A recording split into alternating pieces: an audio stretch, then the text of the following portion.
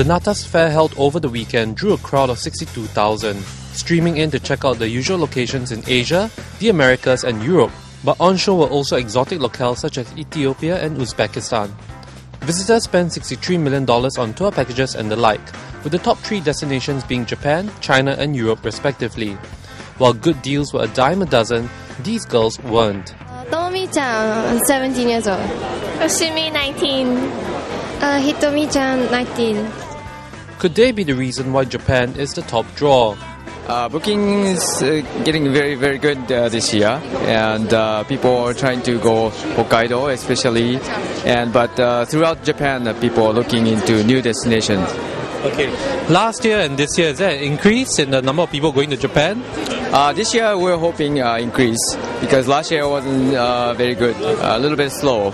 But this year, uh, you can look at this uh, our booth; it's very nice. Uh, Okay. Why do you think so? Why do you think there's an increase? I think uh, the economy is getting better, and uh, people who couldn't go out last year maybe wants to go explore uh, more, you know, uh, variety in Japan. Yes.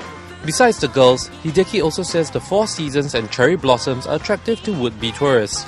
Another group of people drawing oohs and ahs from the audience are these hip-hop dancers from Taiwan.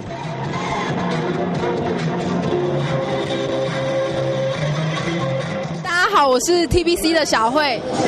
大家好，我是 TBC 的 Mai。我是 Jason，你好。 可以给我们理由为什么呃新加坡人应该去台湾呢？呃，我觉得呃，台湾就是它的食物，我觉得非常的吸引人。台湾有很好吃的欧阿米刷。第二个理由就是，我觉得台湾人都非常热情。我觉得台湾的交通很方便，大巴是啊也都是很方便，而且价钱也很便宜。这样，我觉得台湾最有趣的就是它的旅游景点很多，还有如果你有兴趣跳舞的话，像我们很很爱跳舞，你来台湾你会觉得台湾跳舞已经是变成。有点像国民运动，就是大家每个人可能第一或第二的兴趣就是唱歌，不然就是跳舞。那如果喜欢跳舞的话，那去台湾，那每个人都跳舞，这这么好，那不会觉得很伤心这样吗？也没有每个人都跳是没也没有每个人都跳得很好啦。当然就是有很多教室啊，有很多工作室，有很多练舞的地方，大家都可以去上课，然后或者是去切磋这样子，去分享自己的东西。It seems that overseas is where all the fun is. The weather is better, the food is more varied, and they even dance better. And it seems that the girls are sweeter and friendlier too in some places. Okay, are you guys all from Singapore? Um, yes, but I lived in Japan for a while before this. No, in Singapore. Singapore. Singaporean. Okay, so what qualifies you guys to to sort of like entice people to go to Japan? I guess um, our maid costumes and the way we uh, portray ourselves to be.